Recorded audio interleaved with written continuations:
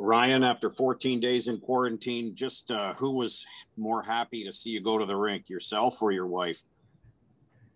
Uh, definitely my wife. I think uh, I think I was driving her a little bit crazy. So I'm not a guy that likes to be alone or like uh, you know I got to have stuff to do and people to talk to and people to annoy. So I think uh, she was definitely annoyed and glad that I went to the went to the rink today. was was there any weight gained over the 14 days and uh, if so how did you feel for, at your first practice today?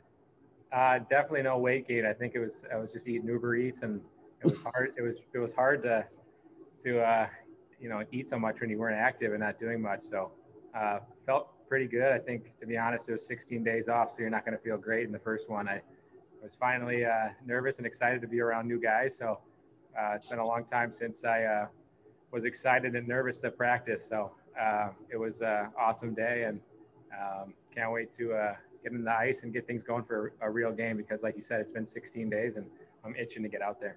Am I safe to assume it was a comfortable walk into the locker room, though? Yeah, it's. I mean, you know, whether you're 30 years old or you know, you know, 15 going into a new high school, it's always uh, it's always nervous to meet new people and, and you walk on glass a little bit, walk on eggshells when you get to a new place, and to uh, come to a, a team that I'm so familiar with the with the uh, you know people and the trainers and all the people that make this uh, organization such a great organization. It was it was easy, you know, walking in, talking to Pierre and and Peter, and then uh, seeing all the other guys. And you know, I'm still friends with five or six guys from the team in the past. So it was definitely a lot easier than getting traded in the past, and uh, felt like I've you know I haven't left. So uh, it was very easy to come back. Final head in the queue right now is Ken Warren at Postmedia. Yeah, hi Ryan. Uh, like in all, I've got a couple here. First one, like in all seriousness, what do you do with 14 days? Like, you go to the gym in the hotel? Do you, what, what, how do you kill time? Do you watch movies? What do you do? Uh, to be honest, it was it wasn't easy. Know, all joking aside, it was it was pretty boring, and um, I called a lot of friends, called my family, talked to my dad and my mom, and and other things like that. And to be honest, I just was on the computer, uh, you know, reading, learning things, and then watching a lot of hockey. To be honest, I watched every one of the Sens games, uh, a couple Carolina games, a couple Tampa, just just any any team that I had friends on, I, I got to watch. So I think that was my daily routine was kind of try to sleep in, uh, recover, and um, have a nice lunch, and then get ready to watch a hockey game at night. To be completely honest, it there wasn't much to do, so uh, it, it wasn't the best, to be honest and and in coming back to this room, you say familiar with the surroundings. Not a lot of players still around, right? From from your previous stint here, who who's still here from uh, when you were traded the first time? Yeah, I think uh, you know Chabby and Tierney were I was pretty close with back in the day, and, and Whitey and Chucky, and and then even like guys like Wolanin and and Paulie, I uh, got to know a little bit. Uh, you know, Wally was a good kid, and he was younger and kind of coming to the league when I was here, so I, I kind of try to help him out and talk to him a lot and make him feel comfortable. So uh, guys like that, and you know Tierney and Chabot, I still uh, they're already already annoying me after day one. So it's nice to hear their chirps and and be back goofing around with those two guys. We'll go to Matt Tidcombe at Senators.com. Hey Ryan, as uh, Ken just mentioned, there are a lot of uh, new faces for you and a lot of young guys too. Just first day on on the ice with those guys, kind of how impressed were you uh, with what they bring to the table?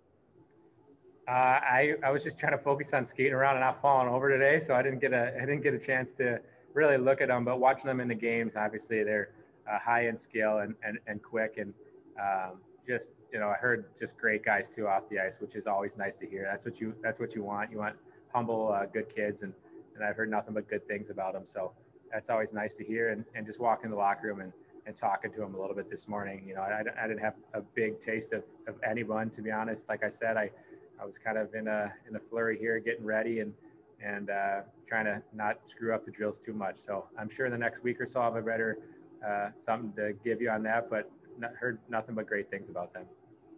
Ian Mendes at the Athletic.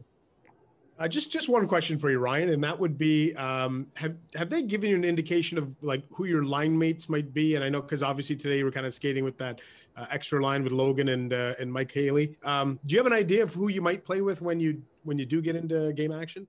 Uh, no, I really haven't talked to DJ much about that yet. I think uh, a lot of things I need to, like I said again, a lot of things I need to focus on before, you know, 16 days. They, the trainers here, um, you know, I've been in the league a long time. They're just trying to keep me safe and and uh, get me back when I'm ready. So I think it's going to be two, three, four days of um, getting on the ice, getting workouts in, and and feeling comfortable again. So um, just looking at the lineup, I think four really solid skilled centers, which you don't have that a lot on a lot of teams. So wherever you get put with any of those um, centers, one through four, um, it's uh, not going to feel like you're on the third or fourth line. So uh, it's nice to see all the skill up the middle, which which helps every uh, every winger. So just excited to play with uh, whoever falls, and uh, you know I've played with guys in the past like Tierney and and other other guys like that. So wherever I fall, it'll it'll be uh, it'll be fun and uh, offensive.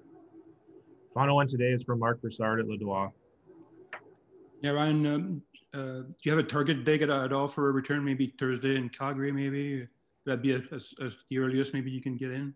Yeah, I mean, I you know, as as a competitor and a guy who wants to get out there as soon as I can, I think I always think I can do more than than I should. So uh, I'm going to listen to the guys here, and uh, like I said, I've known them for a long time, and I trust them. So uh, you know, whatever Jared, Dom, uh, Schwartzy, and Robbie say, uh, I'm going to listen to them. And um, felt a little weird today, a little funny with the puck, and 16 days off the legs and the groins and the hips, but. Uh, I skated a lot after practice, so hopefully, yeah, I think, like you said, Thursday or, you know, whenever they uh, deem that I'm ready to go, I'll be ready.